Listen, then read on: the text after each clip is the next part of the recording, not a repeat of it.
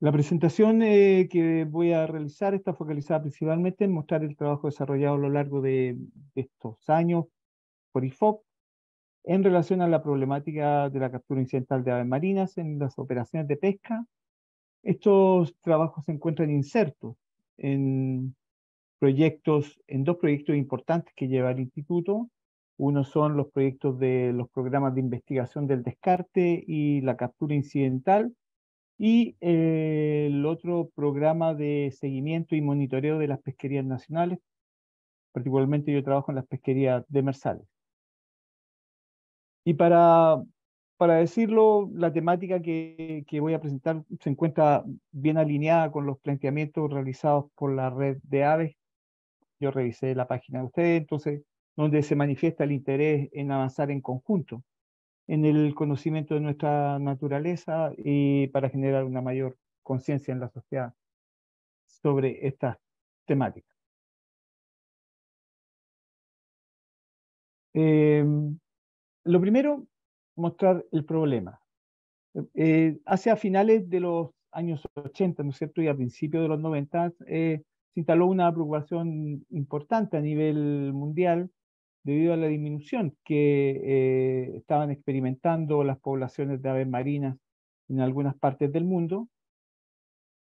La captura incidental en, en la pesca comercial eh, fue identificada como una de las principales amenazas para la conservación de este grupo de aves, siendo eh, los albatros de la familia Diomedae y los petreles de la familia Proceraviformes las especies más afectadas.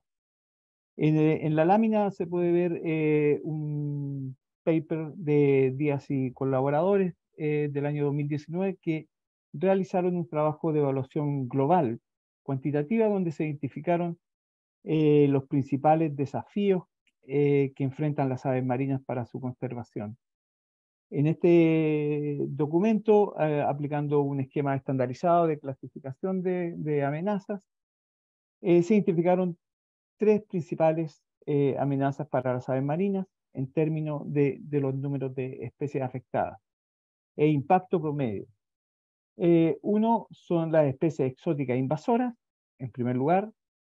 En segundo lugar fue identificada la captura incidental en la pesca y en tercer lugar el cambio climático. Sin embargo, si bien la captura incidental eh, tiene este segundo lugar, es eh, la afectación, ¿no es cierto?, la amenaza con el mayor impacto promedio a nivel de, especies.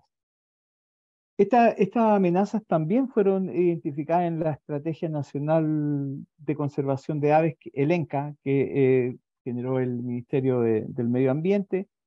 Dentro de estas de 20 amenazas que detectó el, el, eh, el ENCA, eh, están estas tres amenazas que yo le he mencionado, donde la captura incidental también está eh, similar al trabajo de, Díaz y colaboradores. Eh, revertir las tres principales amenazas por sí sola beneficiaría, así el trabajo lo dice, a dos tercios de todas las especies de aves marinas que son afectadas por, por esta amenaza.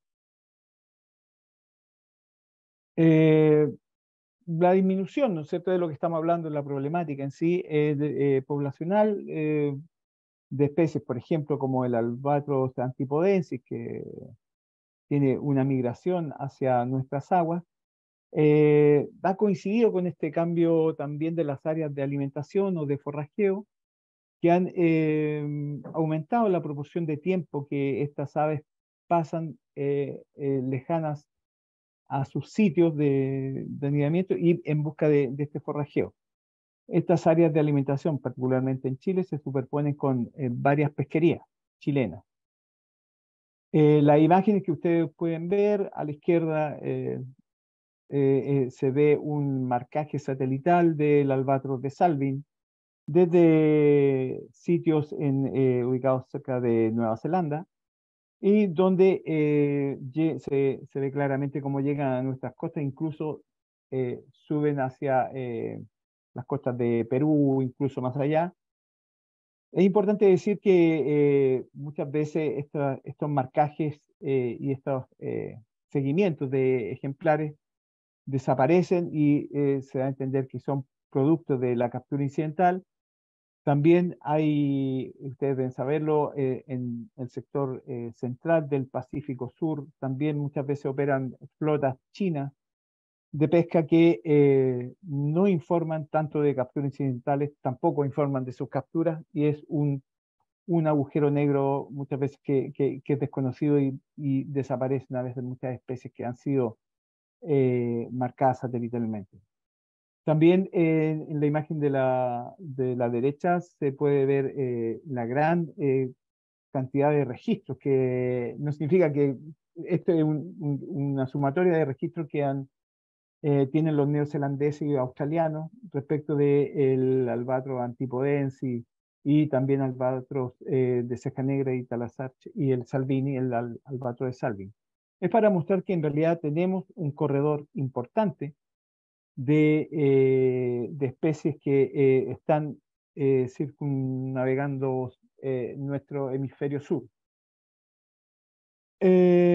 importante decir que Chile tiene el 20% de la población mundial del albatro de ceja negra, una especie que particularmente participa de, y es afectada por las pesquerías en Chile se encuentra presente en, gran parte de las pesquerías que han sido observadas con, eh, observadores científicos a bordo.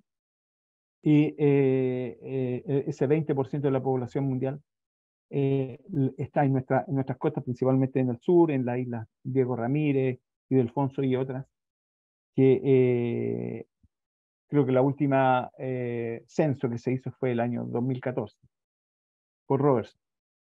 También eh, la imagen muestra eh, un ejemplar de justamente de albatro de ceja negra que fue marcado en Australia y después de ocho años, eh, tres meses y 25 días fue recapturado en las costas de Chile, en la zona norte, en las pesquerías de, de, espada. Esto es, muestra que eh, si bien es cierto, debe haber tenido varios viajes entre eh, Nueva Zelanda, Australia, hacia nuestras costas, eh, después de ocho años fue recapturado, afortunadamente vivo, y fue liberado, ¿no es cierto?, para continuar su, su viaje y su vida en, en estas aguas. Veamos un poco la cronología de la captura incidental en Chile hay varios hitos importantes que debemos tener presente cuando hablamos de, captura incidental. Primero, eh, en los años 80, eh, como lo dijimos en los 90, en la problemática a nivel mundial.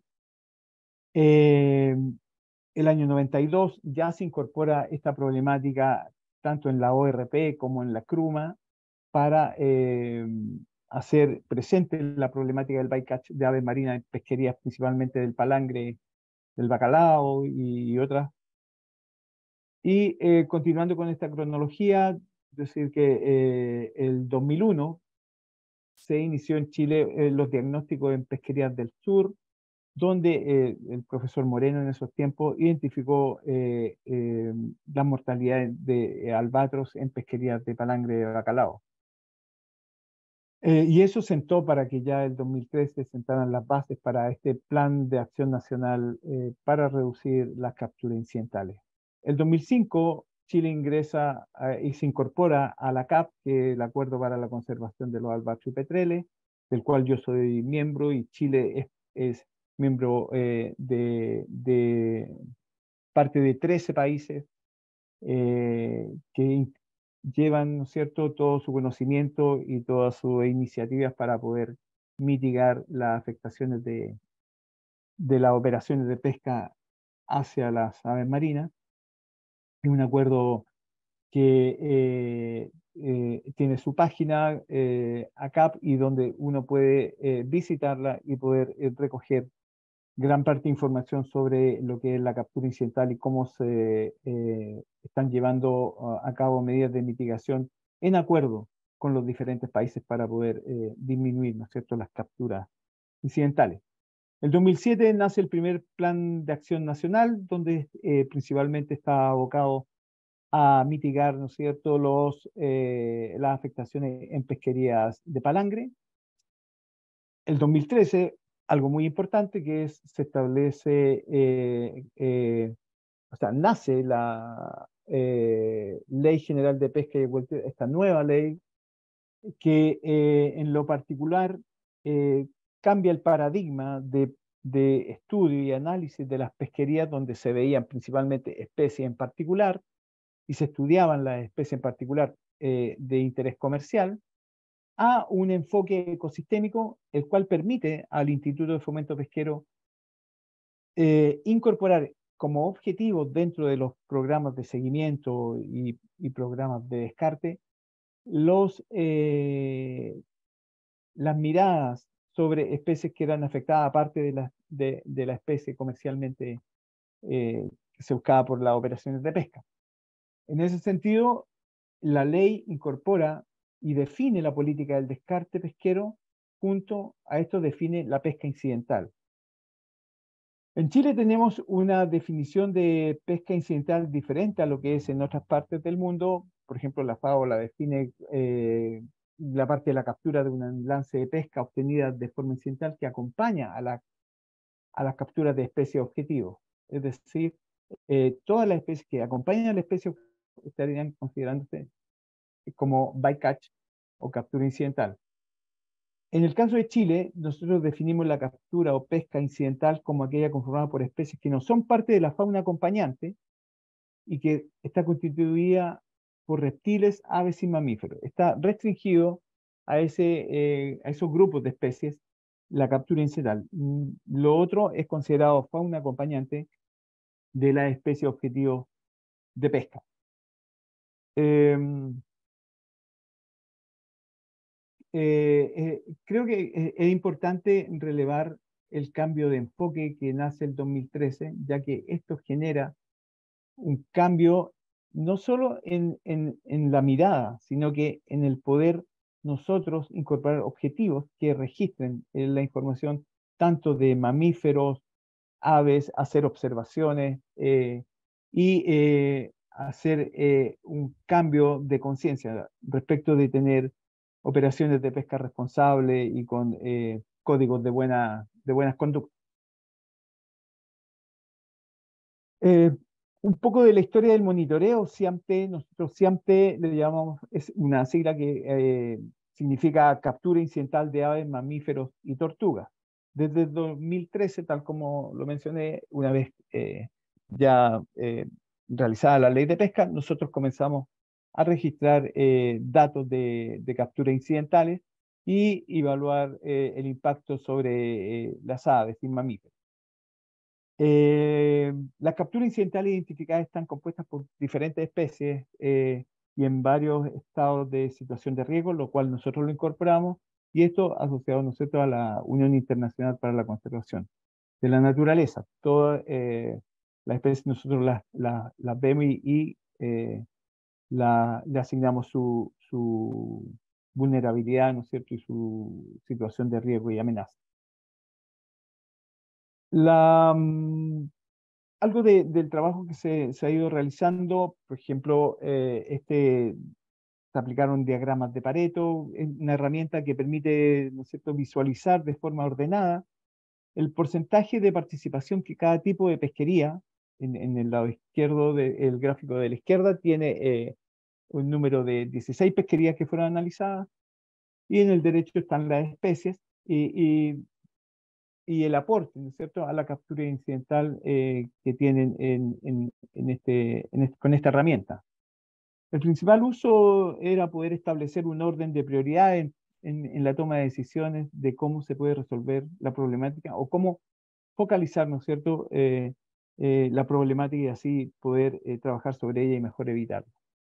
Esta herramienta es también conocida como la curva de 80-20, donde permite separar, ¿no es cierto?, los problemas más relevantes de aquellos que eh, tienen una importancia menor en este, en este caso.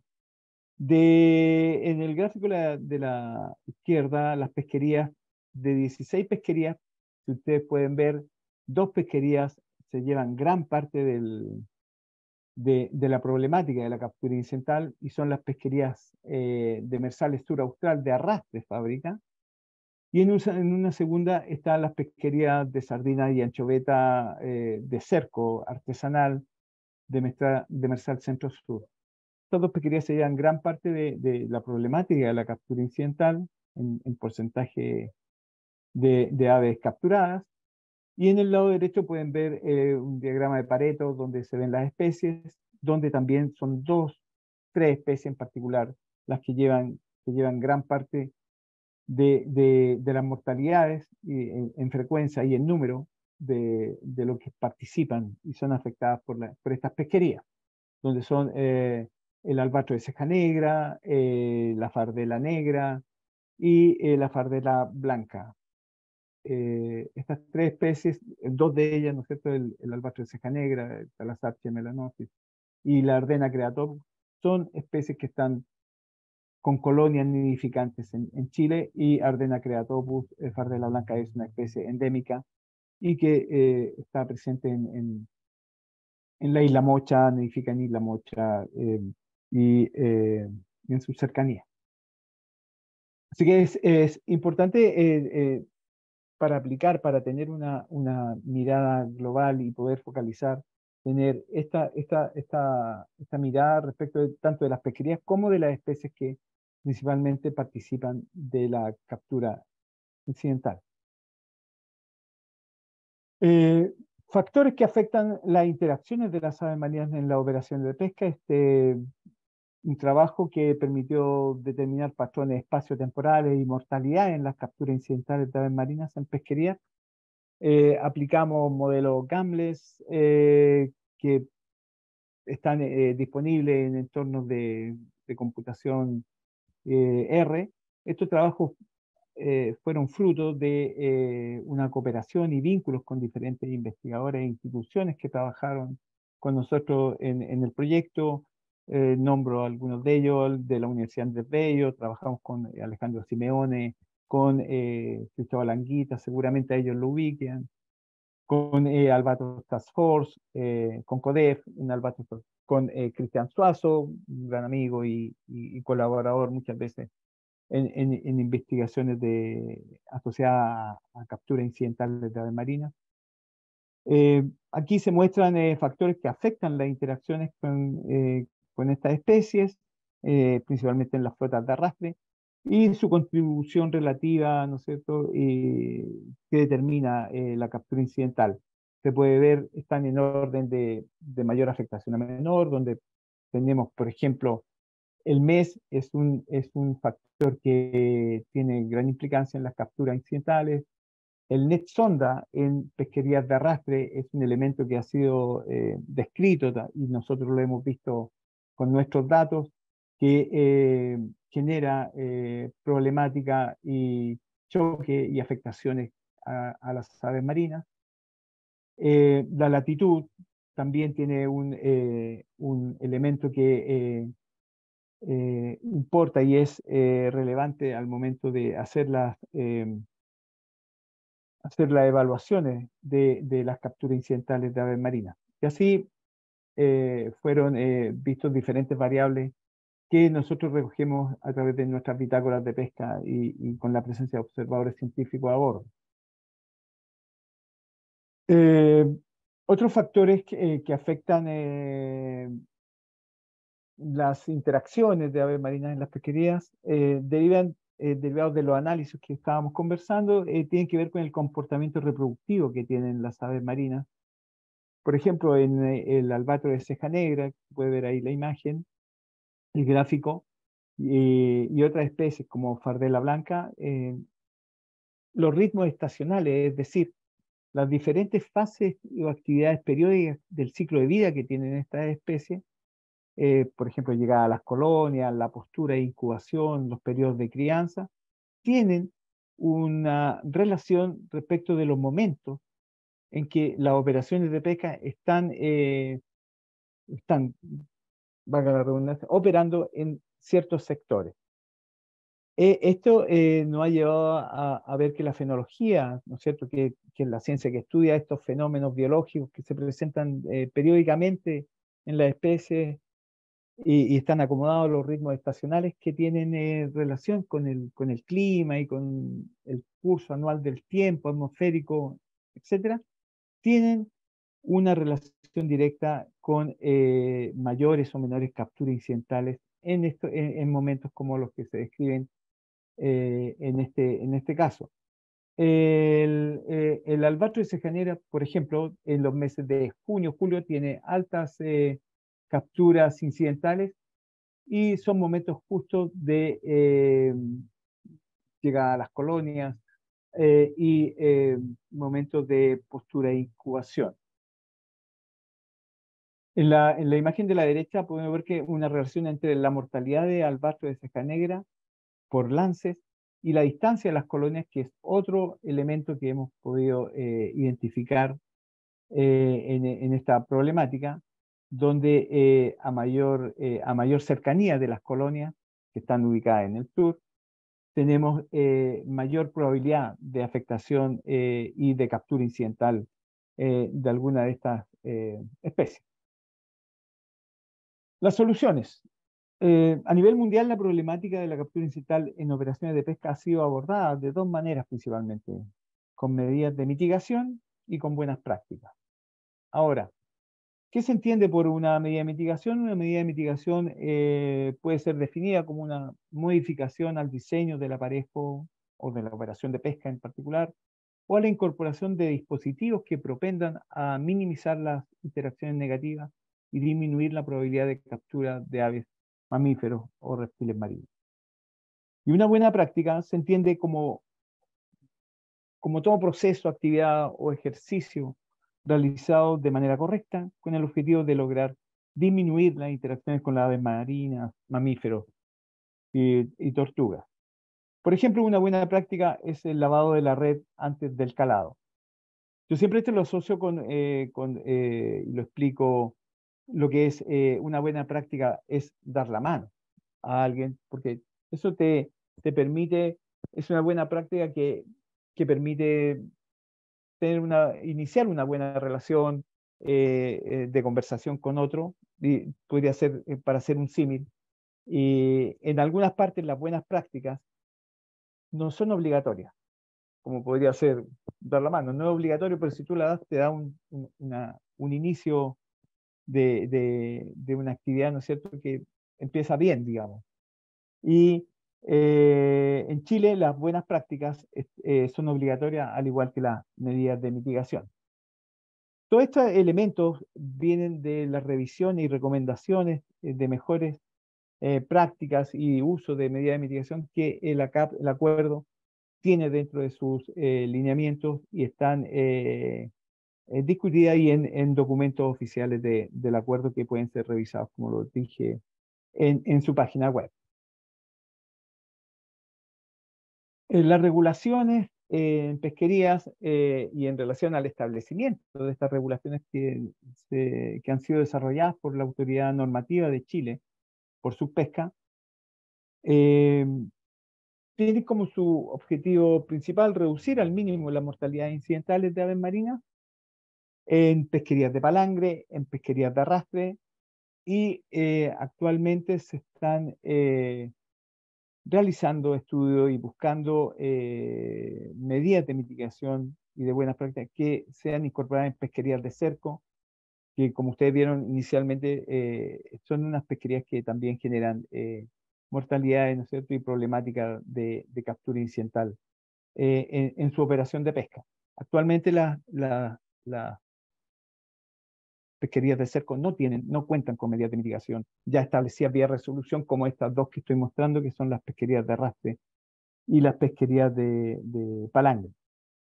Hay que recordar que hasta el año 2019, y de hecho el 2020, desde enero del 2020, es que eh, se inicia eh, de forma obligatoria las la medidas de regulación y medidas de mitigación eh, obligatorias para las pesquerías de arrastre. Eh, también eh, el año 2019 que, eh, se generó este acuerdo con Nueva Zelanda particularmente que evidenció este corredor, este corredor migratorio de diferentes especies y donde este acuerdo permite una cooperación científica y técnica para apoyarnos en, en, cómo buscar métodos de, de, poder disminuir y tener registros de mejor calidad en, en, lo que es el registro de la captura incidental.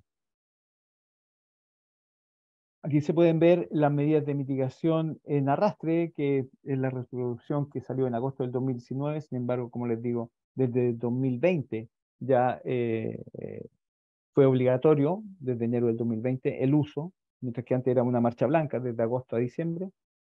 Son eh, tres medidas importantes que el uso de Beer Buffer, son estas este, e, es un mecanismo distinto de, de línea espantapájaro que se usa en embarcaciones menores a 400 HP, que, también tiende a, proteger a las aves de las interacciones que tienen con los cables de cala.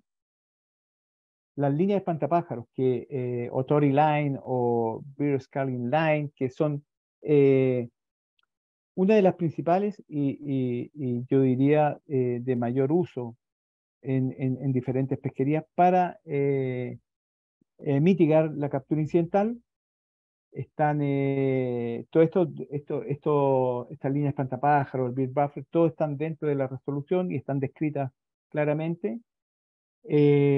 han permitido disminuir ¿no cierto? las capturas incidentales en diferentes partes del mundo y aquí en Chile estamos contentos de que poder decir que también estamos eh, disminuyendo esas capturas incidentales.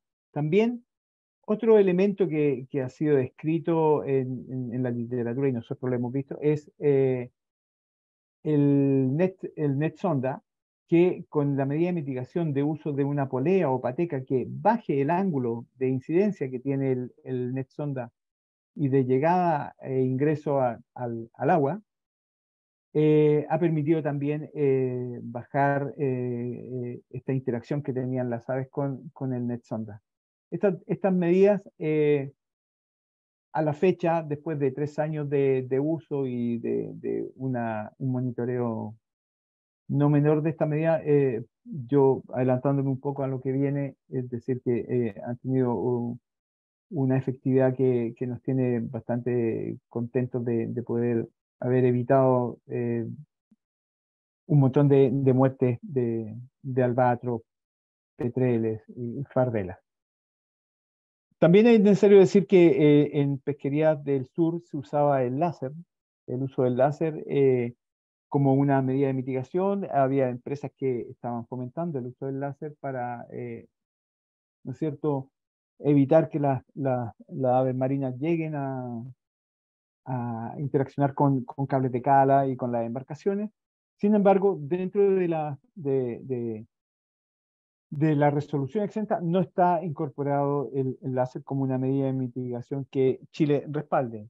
Por dos cosas, principalmente eh, el ACAP no, eh, no respalda esta medida de mitigación. Hay evidencias que sugieren que la exposición láser eh, de las aves puede alterar el comportamiento de exploración visual en el contexto de búsqueda de alimento y podría estar afectando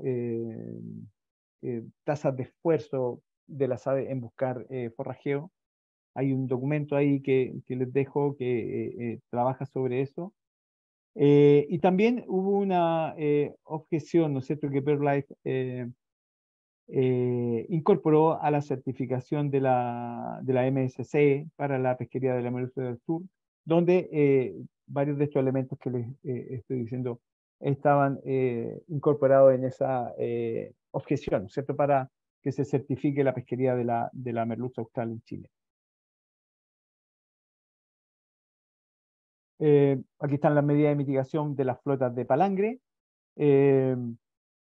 En esto es importante decir, esto viene del 2014, eh, las pesquerías de palangre en general eh, y en comparación con pesquerías de arrastre tienen una menor eh, incidencia en lo que es la captura incidental. La pesquería del pez espada está muy minimizada, es que ya no, no se opera sobre pez espada en general. Las pesquerías de merluza austral están en el sur y hay cerca de dos barcos que operan sobre Australia y Congreorado en el sur, y las pesquerías de bacalao, que son, ahí son más barcos industriales grandes, producto de, tengo entendido que el año 2006, las pesquerías de, de palangre industrial de bacalao eh, incorporaron un dispositivo para evitar eh, la predación que tenían las orcas, los cachalotes, sobre la captura del bacalao en, estos barcos, y ellos generaron una especie de capuchón eh, sobre que al momento de ser capturado el, el, bacalao en el anzuelo, este capuchón lo, lo cubre y y permitía que eh, tanto los cachalotes, las orcas no eh, depredaran de, de, esas capturas que generaban pérdidas no menores en, en estas pesquerías. Pero, como suele suceder muchas veces, eh, el que tú hagas un, diseñes un dispositivo para, para, un, para evitar cierta, cierta causa de pérdida de, de captura, generó una tasa de hundimiento mayor, un lastrado de la línea mayor en, en esta pesquería, lo cual permitía que las carnadas no estuvieran eh, mucho tiempo expuestas a la mirada de las aves marinas, de los albatros, de los petreles, etc., y pudieran atacar y quedar enganchadas en, en, este, en los anzuelos. Entonces, eh, generó un impacto eh, importante tanto en la, en la disminución de las afectaciones de la orca, pero también y, eh, por accidente permitió este hundimiento rápido del, calado y del arte de pesca, lo cual llegó a, y hasta el día de hoy, a mínimas capturas incidentales de, aves marinas producto de este lastrado, ¿no es cierto? Y de esta eh, eh, como hundimiento rápido que tienen los, el arte de pesca. Así que eh, para que lo tengan en claro que a veces eh, resultan así eh, beneficiosas actividades que estaban dirigidas a una y terminan beneficiando a nuestras queridas aves marinas.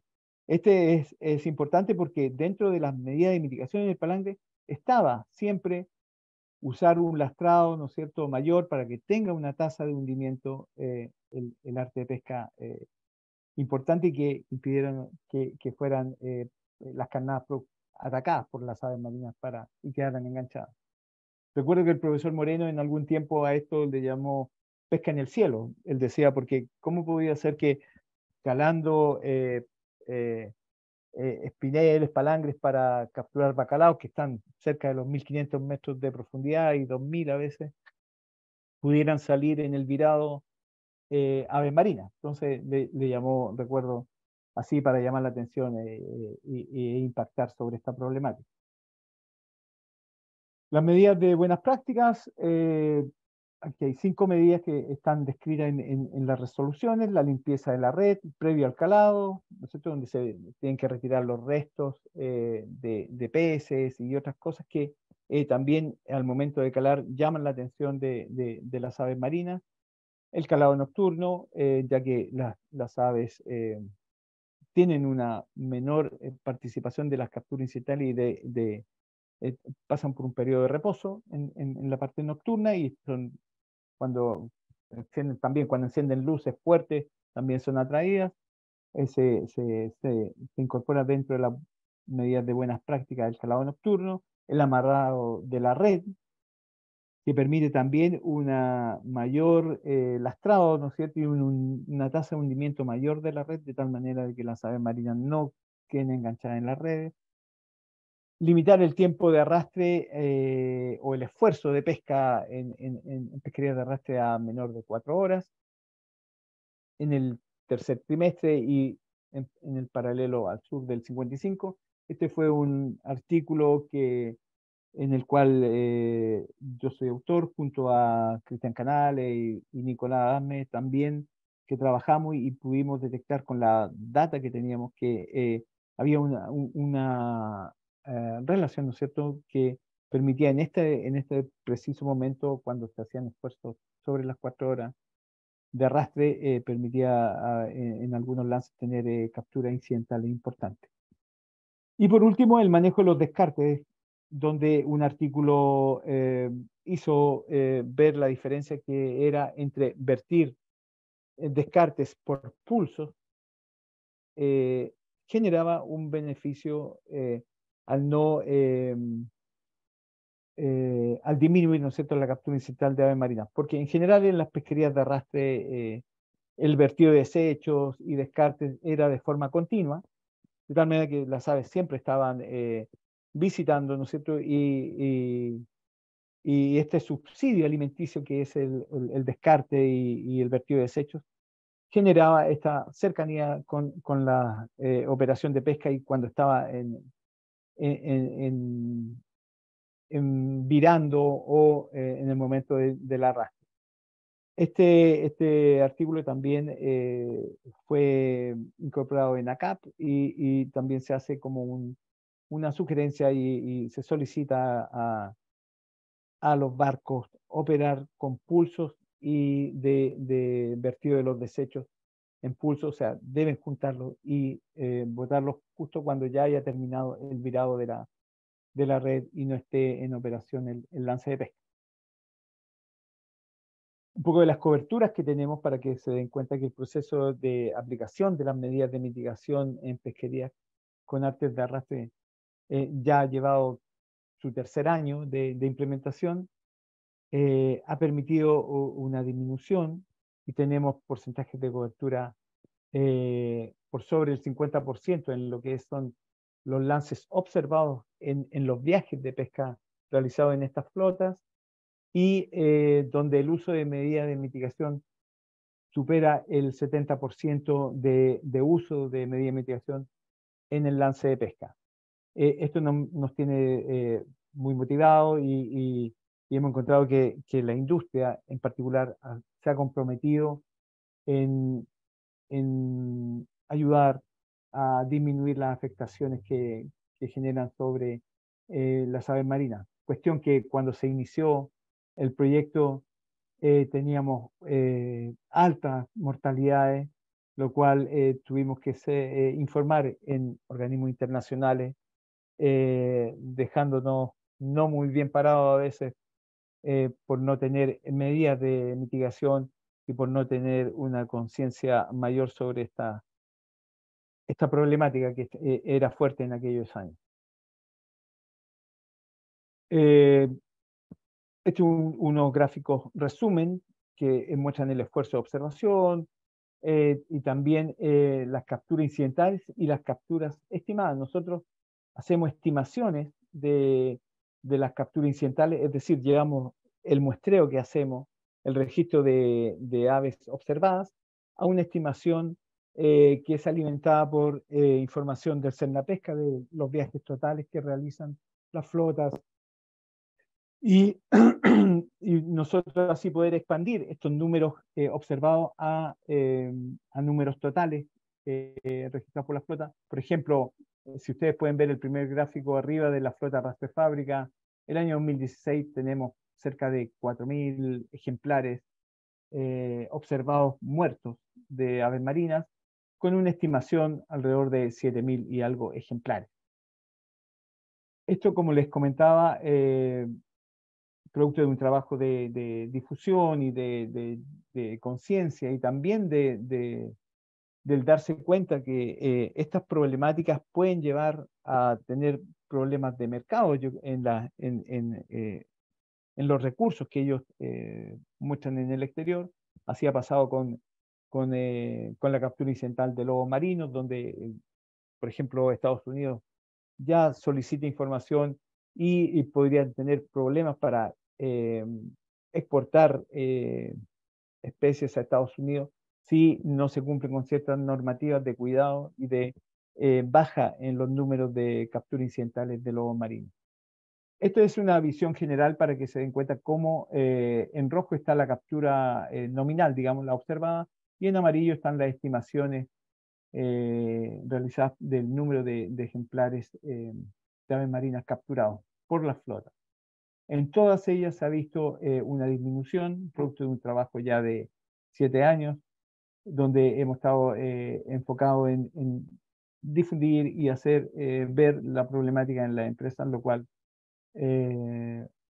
finalmente podemos mostrar mejores cifras que las que mostrábamos al principio en, en organismos internacionales. Lo mismo les quiero mostrar las tasas de mortalidad que son producto de estas estimaciones. Todas ellas han tendido a una disminución. En las tres flotas, estas son las flotas de arrastre demersal centro-sur, arrastre hieleros de la, de la zona sur austral, y donde eh, ya estamos por bajo eh, tasas de mortalidad que eh, fueron informadas, por ejemplo, ATF del 2011, 2012, informada 0,152 o 0,031 aves por hora de arrastre, nosotros estamos ya por bajo esta, estos números. Así que eh, son buenas noticias para las aves y también para nosotros y yo creo que en general para la, pesquería en, en Chile. Un gráfico que ya lo hemos conversado, que la principal especie afectada es el albatro de ceja negra. En todas las pesquerías esta especie eh, eh, eh, aparece como capturada, entonces es una especie de especial atención. Creo que por lejos es la especie más capturada. Sin embargo, Fardela blanca, Ardena creatopus, es otra especie que es afectada por las pesquerías, como les conversaba, de, de cerco, artesanal centro-sur, y que es un, foco que tenemos que poner atención y estamos trabajando en ello eh, el, el, plan de acción nacional eh, que va a ser actualizado, espero, dentro de este año, eh, incorpora, ¿no es cierto?, las pesquerías de arrastre y también una especial foco en las pesquerías de cerco con las afectaciones que tienen sobre fardela blanca, que es una especie endémica. todas como sí, están con su nivel de, según la Unión Internacional para la Conservación, eh, de ceja negra siguen estar en una preocupación menor, pero eh, la afectación que tiene por las flotas eh, ha disminuido bastante, sin embargo, hay que estar atentos a ver si poder eh, realizar censos, ¿no es cierto?, que nos permitan ver la afectación y el impacto que han tenido estas capturas incidentales de años anteriores en las poblaciones que están en nuestro nuestro territorio. Finalmente, y para ir eh, terminando eh, y no aburrirlos más, con una última etapa y considerando los desafíos que, para el control y registro de los descartes y las capturas incidentales en el mar, eh, se han incorporado ciertos dispositivos de grabación de imágenes o cámaras a bordo en una resolución exenta, que es la 3885, que son, eh, se llaman DRI, se les dice DRI, eh, y estos eh, actualmente están incorporados, estas cámaras, en todas las flotas industriales y esperamos al año 2024 comenzar con las flotas artesanales mayores a 15 metros. Este registro de, de imágenes y su revisión la realiza exclusivamente el gobierno a través de, de, Pesca. Nosotros como instituto estamos interesados en poder tener la información de, de esta, registro de imágenes para ver el uso eh, en términos científicos y para eh, su uso y, poder aumentar así las coberturas de, de observación, ya que muchas veces las flotas, como por ejemplo las de cerco artesanal, son muy grandes y, no está la capacidad de poner observadores científicos que tengan una cobertura mayor y esto nos podría estar entregando eh, buena información, esperamos, y poder así eh, poder hacer estimaciones y registros de, de, embarcaciones donde muy difícil podría subir un observador científico. Este es el proceso. Eh, bueno, la presentación yo se la voy a dejar, de tal manera que eh, permite tener una, una, modalidad y una forma de, eh, de análisis de imágenes en, estaciones de procesamiento que actualmente están en el CERNA Pesca, en su sede central en Valparaíso. en resumen, para, para mostrar que eh, se ha realizado un avance sistemático en el proceso de cuantificación de la captura incidental de aves marinas consolidando una data de mayor calidad y avanzando en, en las estimaciones para las diferentes flotas. Las flotas de arrastre fábrica muestran una disminución importante de las capturas incidentales en estos últimos dos años principalmente. Eh, la implementación de la medida de mitigación al año 2022 alcanzó porcentajes por sobre el 70% de los lances observados por nuestra gente que está a bordo. Y las temporadas de pesca 2020 eh, muestran una notoria disminución de las tasas de captura incidental de aves marinas, en, principalmente en las flotas de arrastre. Y eh, albatro de ceja negra sigue siendo por lejos eh, la especie con mayores capturas incidentales en estas flotas. Y desafíos que siempre tienen que estar y, y, ver nosotros las brechas que tenemos respecto de, de, esta investigación, es avanzar en la cuantificación de la captura incidental críptica o no está a bordo. Recuerden que nuestra observación está en ese nivel de eh, aves marinas capturadas e izadas a bordo, vivas o muertas. Ese es el registro que llevamos. Pero sin embargo, eh, está escrito que eh, muchas aves no llegan a bordo y quedan flotando, han sido impactadas o se desenganchan de los anzuelos, etc.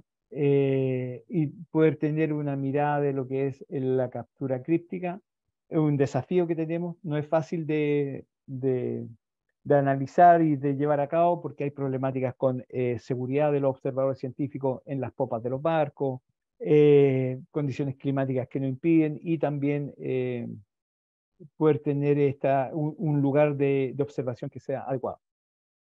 Progresar en el diseño de, e implementación de un trabajo destinado a un desarrollo de censos que también nos interesa, sin embargo, sabemos que es territorio del SAC, principalmente, no de, Subsecretaría de Pesca, y estamos haciendo alianzas de tal manera de poder hacer eh, observaciones en tierra de, eh, de colonias, ¿no es cierto? Y, poder llegar a hacer algunos censos y actualizarlos, porque algunos de ellos están muy, eh, hace muchos años que no se, no se actualizan.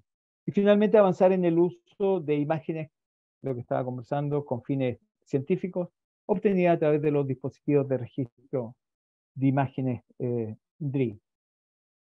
Finalmente, eh, ya finalizando, quiero decir que considerar la pesca económicamente rentable con, con, las disminuciones de las afectaciones a la biodiversidad marina y en particular eh, nuestro tema que son las aves marinas, es una tarea difícil, más no imposible, y es en lo que hemos estado trabajando todos estos años. Muchas gracias a todos y quedo atento a sus a su consultas. Muchas gracias, Luis. Eh, un, un, tema muy, muy complejo eh, y, como dices al final, con, con grandes desafíos. Eh, quiero darle la palabra a Bastián para que nos ayude con los comentarios y preguntas. Bastián, adelante. Por supuesto. Eh, como primera pregunta eh, fue Cristian quien preguntó si el 13% de arrastre de crustáceos eh, se toma en cuenta como el camarón y el langostino. Creo que se refiere en una, una tabla o gráfico donde hablaba de eso. sí, está, está la captura de langostino y de camarón. Está, está como, no está, la captura incidental en ese caso no está dividida en, eh, por especie objetivo. Está eh, a, la, a, la, observación de la captura incidental de la operación de pesca de, de, arrastre de, que va hacia, hacia crustáceos. Sí. A ver, como segunda pregunta es Paula. Hola, muy buen tema y presentación. Quisiera preguntar si los datos mostrados de disminución de captura incidental en pesca de arrastre es a nivel nacional. ¿Hay datos del norte en esas cifras? En, pesquerías eh, del norte tenemos, eh, como dije, principalmente eh, las pesquerías de arrastre operan en la zona centro-sur, sur austral. En el norte tenemos pesquerías que tienen que ver con el palangre y también con el cerco. En el cerco hay eh, capturas incidentales nominales, sin embargo, no, eh, no he visto yo relación de estimaciones. Eh, y como lo he dicho también, eh, en pesquería de, de, cerco no tenemos eh, medidas de mitigación que estén, que estén ya por resolución y hayan sido decretadas. Y está, es un trabajo que, que se, está, se está avanzando. Sin embargo, no, en este minuto yo no te podría decir que tenemos estimaciones de captura incidentales y si la disminución de ella es, tan efectiva como lo que he mostrado yo en, en el arrastre. Mm. Ok. Eh, siguiente pregunta sería de Marcelo Olivares. Es si es que los recursos que se invierten para la implementación de medidas de mitigación y buenas prácticas están a la altura de la urgencia por acelerar la discusión, sino eliminación de captura incidental de aves marinas. Mira, eh, en general las medidas de mitigación en cuanto a, al costo, podríamos decir que tienen, son, eh, y, lo que busca también el acuerdo para la conservación, es que sean de, fácil uso, que sean económicas, que no tengan un gran impacto en, la operación de pesca, eh, de tal manera de evitar este, este tipo de afectaciones y así que las empresas no las usen yo creo que en las medidas, yo creo que hay que entender que también la, el llegar a una, a una captura incidental cero es muy complejo cuando tú haces eh, operaciones de pesca.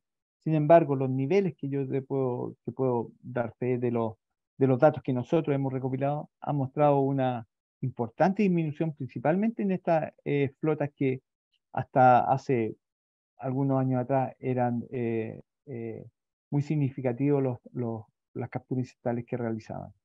Y, eso eh, ha sido eh, producto de este trabajo y de del uso de, esta, de estas medidas de mitigación. Muchas gracias. Siguiente sería Caterina, que pregunta si hay datos de pesca incidental asociados al pingüino Humboldt. Tenemos, eh, estamos viendo las pesquerías de, en general el pingüino de Humboldt queda atrapado en, en enmalle, en productos de pesquería artesanales que, yo he visto que van a capturar, por ejemplo, en, eh, cerca de, de, Keule, en la, eh, en la Araucanía, también veo en pesquerías de enmalle de otros recursos que quedan atrapados pingüinos eh, las pesquerías artesanales siempre son en, en, general un, un, un, mundo que es, difícil de abordar porque las embarcaciones generan muchos problemas para embarcar a observadores científicos. Eh, muchas de ellas, de ellas, no tienen acomodaciones eh, que permitan esto.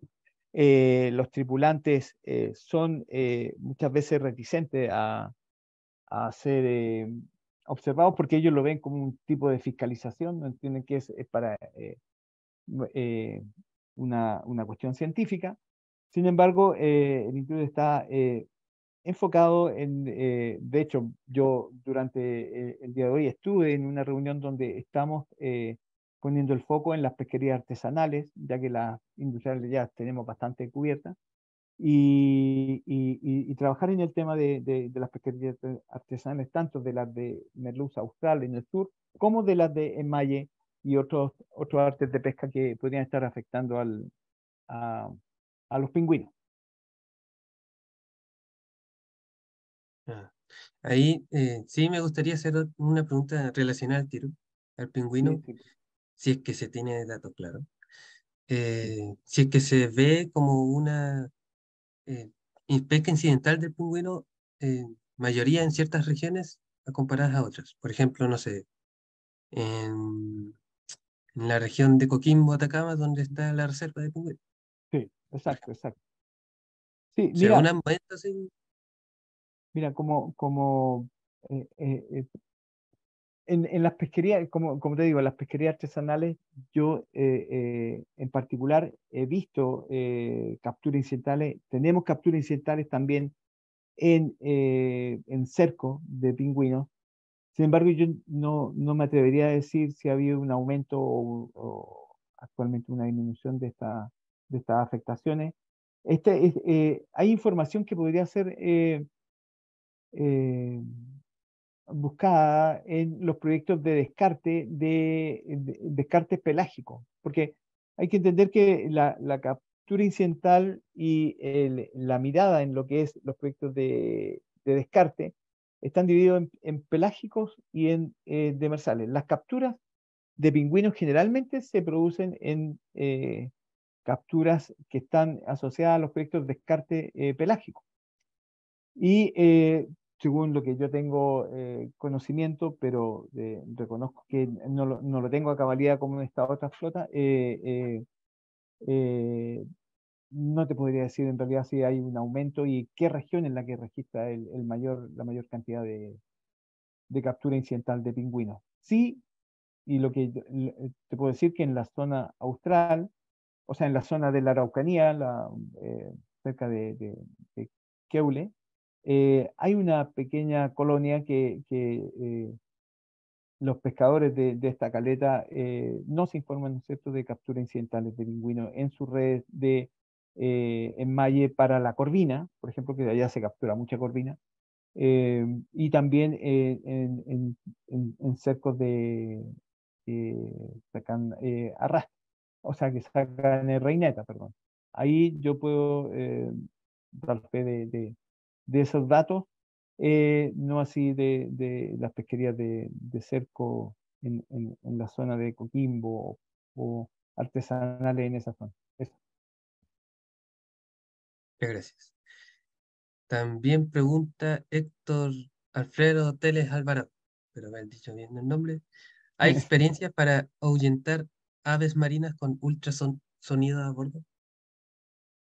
Sí, se han, eh, se han realizado principalmente en el norte, justamente para las pesquerías de, de cerco en el norte, eh, experiencias de, de, ultrasonido y de chicharras, ¿no es cierto?, eh, que, que, emiten sonidos que en un principio ahuyentan a, las aves marinas. Sin embargo, según lo que yo he, he podido leer, es estas aves, eh, principalmente a, las aves pequeñas, pero las, las, grandes aves albatros eh, rápidamente vuelven a, a, los lugares si es que hay eh, un subsidio alimenticio. también se han probado otros temas como chorros de, de agua, de tal manera de poder espantarlas. Hay, hay, hay, alternativas, sin embargo, se están buscando en, en, en el cerco. Yo se presentó una propuesta a la CAP que fue recibida por donde se presentaba eh, una disminución del embande de, de la, de, en, la red de, cerco, el embande que se producía entre la línea de los flotadores y el inicio de, del saco de red, de tal manera de bajar, porque ahí quedaban eh, atrapadas las, eh, las aves y esa es una medida que ha estado en, en, en discusión y que, eh, pero al menos hay una propuesta en ese sentido de poder eh, disminuir eh, las afectaciones en esas en esa flota. muchas gracias. Desde Facebook, pregunta Manuel Enrique Roja Martínez. Te da felicitaciones, claro. igualmente. Muchas gracias. Lo que pregunta es, ¿hay información de pesca incidental sobre albatros desglosada regionalmente? Ah, sí, sí, tenemos, o sea, podemos hacer esa, esa, esa clasificación regionalmente de tal manera de, de entregar eh, eh, al, que, al que lo necesite eh, información que, que, le permita decir que en tal región u otra aparecen ciertas especies o el número de, de ejemplares que fueron capturados. En un principio yo te diría que eh, eh, los albatros, en particular las grandes cantidades de albatros que, y tal como lo señalé en la presentación, están, eh, participan y son afectados en, cercanías de las colonias cuando las operaciones de pesca se presentan.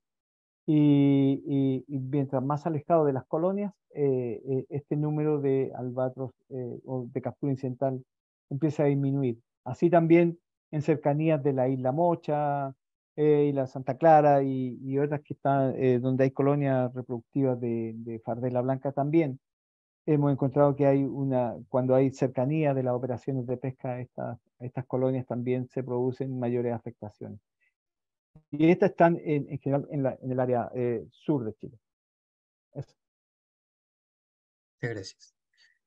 Eh, pregunta Saskia Hostens. ¿Existe en Chile algún sello confiable que nos asegure, como consumidores, que el pescado que compramos proviene de pesca sustentable? Dice que está pensando en el pescado congelado o en lata que se vende en los supermercados. Algunas veces sale el texto proviene de pesca sustentable, pero ¿está regulado esto? Eh, eh, buena pregunta, pero yo de lo que recuerdo se intentó eh, incorporar un sello verde en, muchos productos que, que permitían dar eh, confianza de, de, una pesca sustentable. También, yo diría que cuando las, las eh, pesquerías provienen de provienen de, de un sello de certificación hecho como por ejemplo lo decía con la MSC, donde pasa por todo un proceso que, que de revisión, ¿no es cierto?, tanto de, de, de, los stock, de cómo se hacen los monitoreos y también de eh, eh, medidas de mitigación y que, que permitan eh, evitar las afectaciones hacia otras especies, creo que ese, cuando las pesquerías están certificadas, creo que nos podría dar un, un cierto grado de, de, confianza, al menos de que se están eh, eh, llevando a cabo monitoreos sobre esas pesquerías y que eh, están, eh, digamos, con, un mayor, con una mayor atención. De, de, las que no están así, yo creo que eh, mm, no, no podría yo eh, decirte que, que no generan afectaciones sobre, principalmente sobre la ave marina u otros o, o, o, mamíferos, qué sé yo. Eh, eso, creo que un sello verde tiene que ser bien eh, estudiado. Tengo entendido que en Europa existen sellos verdes y sellos azules que, que dan eh, eh cierta confianza al, al, al, consumidor respecto de que ese producto proviene de operaciones de pesca con buenas prácticas, con códigos de buenas conductas en la pesca y con eh, que eh, evitan las afectaciones a diferentes especies. Eso. Muchas gracias. Aquí más que pregunta es una información de Cristian que nos dice, bueno, nos menciona que la UCN conjunto con la AIP está revisando videos para ver la interacción de las aves con las maniobras del arrastre. Además, se probarán equipos ultrasónicos para ver si se puede evitar la interacción de aves con flota. Perfecto. No, sí. ah, proceda.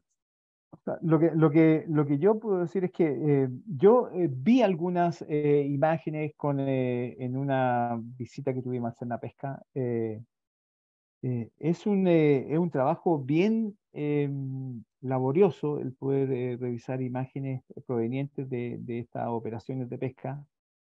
El, la, la, la imagen ¿no es cierto? Este, este dispositivo está enfocado y, nace producto de poder eh, fiscalizar, está hecho para la fiscalización de los descartes y, capturas incidentales. No está eh, eh, pensado inicialmente para el uso científico. Sin embargo, nosotros estamos interesados y estamos eh, en conversaciones con Cernapesca y con Subpesca para poder eh, hacer uso de, esta, de estas imágenes. Tengo entendido, hay un proyecto FIP que lo lidera eh, la Universidad Católica de Valparaíso. Eh, Maritza Sepúlveda está eh, parte del equipo de trabajo de ese proyecto, donde eh, debe estar a punto, yo creo, de, de sacar el informe final de este proyecto, donde va a dar cuenta de una revisión y de eh, información que nos podría aclarar de si estas imágenes podrían ser eh, útiles para una, un uso científico y, no solo de fiscalización y así poder aumentar las coberturas de, observación en, los diferentes buques. Gracias. Marcelo Olivares eh, pregunta nuevamente desde ACAP se ha logrado establecer medidas y obligaciones para las pesquerías que operan más allá de la zona exclusiva de, de pesca, o High Sea, alta mar. ¿En qué consiste el acuerdo eh, de Nueva Zelanda con Chile?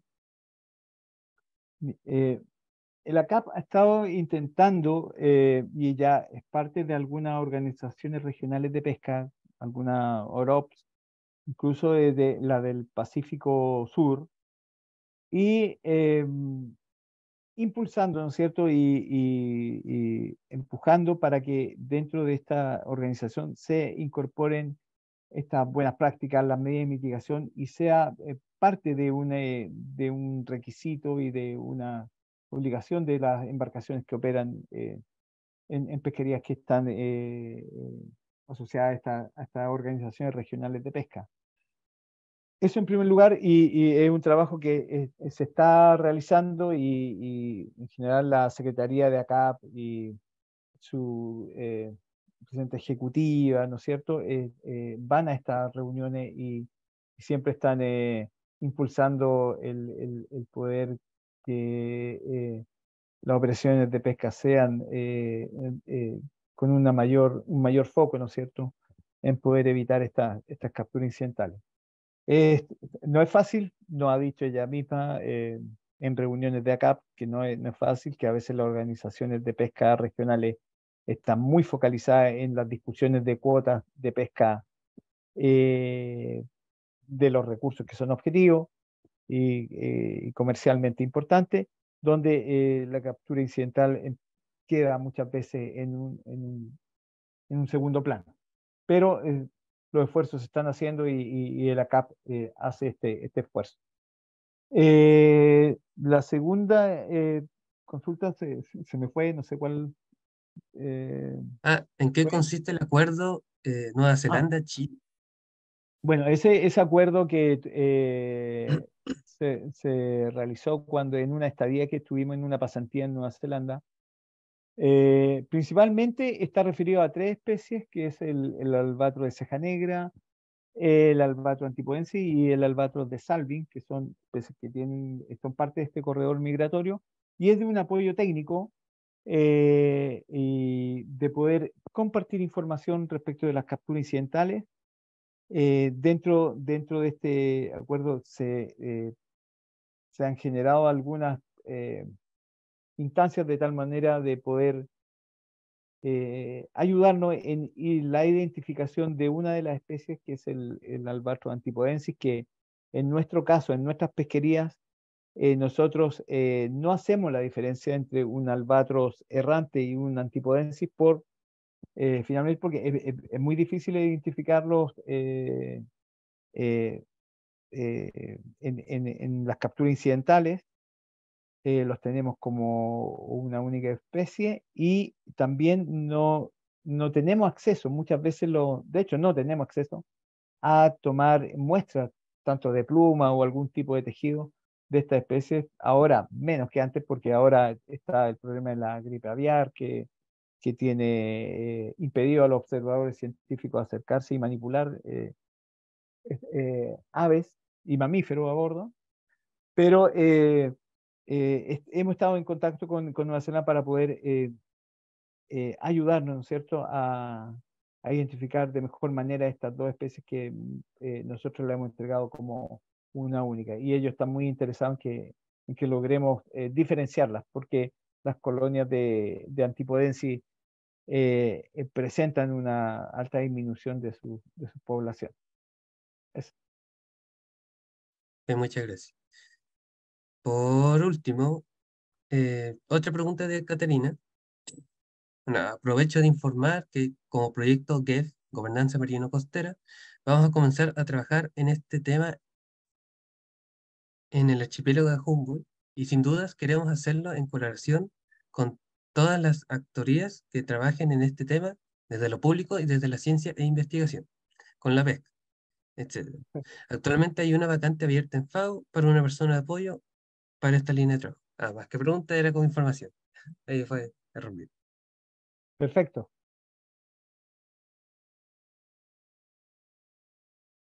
Y eso sería todo, todas las preguntas.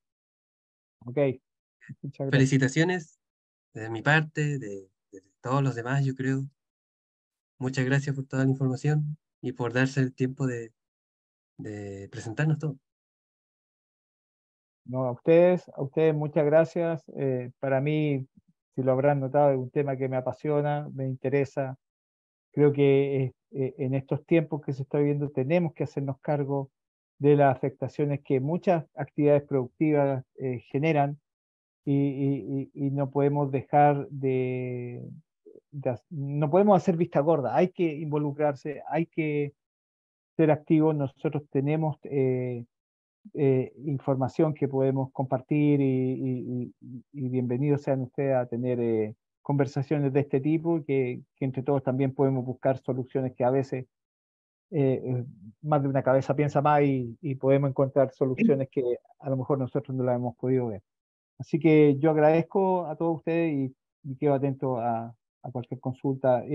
yo a SAS ya voy a enviarle la presentación para que la tenga en su, en su listado de presentaciones para que la pueda difundir como ella estime conveniente. Muchas gracias. En todo caso, nosotros siempre eh, subimos la presentación a nuestro Facebook y el canal ah, YouTube también. Eh, ah, perfecto. Pero nos demoramos unos días, pero, pero lo vamos a subir. Así que no hay problema. Gracias en todo caso. Eh, Aquí vienen más agradecimientos de Marcelo, que dice felicitaciones por tu trabajo. Eh, Francisco dice excelente presentación, felicitaciones. Héctor dice gracias por la charla, muy interesante. Daniel dice gracias por invitar, saludos, excelente. Em, por mi parte también muchísimas gracias por em, aceptar nuestra invitación. Desde el primer momento eh, sentimos el entusiasmo y, y la disponibilidad para, para contarnos eh, tus experiencias, que para nosotros son, eh, es una oportunidad única eh, para aprender más sobre este trabajo tan, tan importante y, y gracias por eso también. Em, gracias al IFOP también y a las organizaciones e instituciones que nos apoyaron con la difusión de esta charla, a todos los que asistieron hoy día, ya sea por Zoom o por Facebook, y finalmente también gracias a Emilio por el soporte técnico. Eh, y atentos a nuestro Facebook, Instagram, porque en cualquier momento eh, los vamos a sorprender con una nueva charla. Así que gracias a todos y que tengan una excelente tarde. Ok, muchas gracias. Saludos a todos. Chao, chao, gracias.